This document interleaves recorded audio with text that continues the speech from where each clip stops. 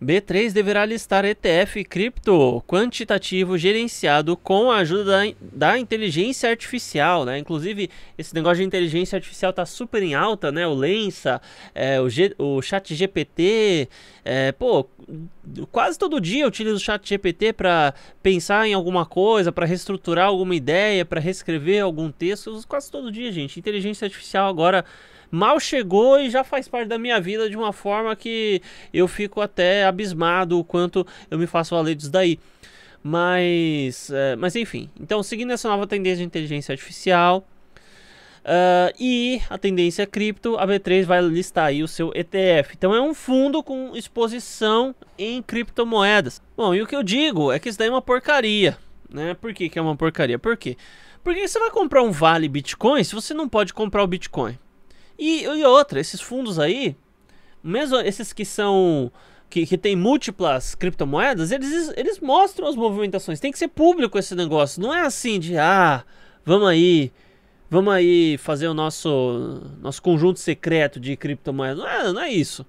É público, tá? Então, tem fundo inclusive com 100% de exposição em Bitcoin. Ai, haja paciência, né? Então assim, você vai pagar bem, mais taxa, você vai estar tá na mão do governo, você vai estar tá dependendo de outra empresa, que depende de outra empresa, que depende de uma outra empresa às vezes. É, porque assim, quando você fala desses fundos, é um que gerencia, o outro que faz a custódia, o outro que cuida da. Então vai longe a história, vai bem longe. Então, para que, que você vai comprar um vale, um, um, um vale criptomoeda se você pode comprar criptomoeda? Né? Então, e, mas existe ponto positivo? Claro que existe. Existe ponto positivo no sentido de que eu não sei como as criptomoedas amanhã ou depois vão ser. Se elas serão usadas aí para o controle populacional, é, como uma possível ferramenta de redução das liberdades individuais. Pode ser que sim, pode ser que sim. Estou sendo bem sério com vocês aqui. Essa é a tendência do mundo aí.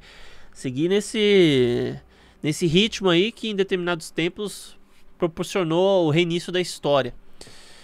Uh, e o que a gente vê, então, é que para esse momento, para agora, tá? Nesse momento agora, uso de Bitcoin e criptomoeda é algo que traz a liberdade financeira.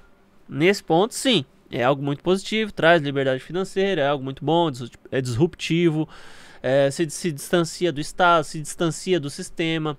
Talvez um, uma hora vá se integrar ao sistema a tal ponto que a gente até se espante com o que vem acontecer, mas nesse momento é liberdade. E, e então, o que, que eu vejo? Esse tipo de ação que você está vendo aí, de a existência de fundos ou ETFs, né, que é uma variação de fundo internacional, enfim, eu vejo isso daí como algo muito positivo no sentido que é, no sentido que divulga o Bitcoin e as criptomoedas. Porque o cara vai pôr dinheiro lá, o que for um pouquinho mais esperto, ele vai começar a dar uma estudada, vai falar, não, peraí, se eu tô pagando tanto de taxa, eu posso comprar Bitcoin ao invés de colocar nesse fundo aqui, né? Eu não preciso disso. E daí o cara vai começar a aprender. Então, gradativamente, isso daqui vai servir para a propagação do Bitcoin e das criptomoedas. Então, venha dizer, para agora representa a liberdade. Para o futuro pode representar, pode representar aí até uma forma de escravidão. Mas para esse momento eu vejo como algo muito positivo.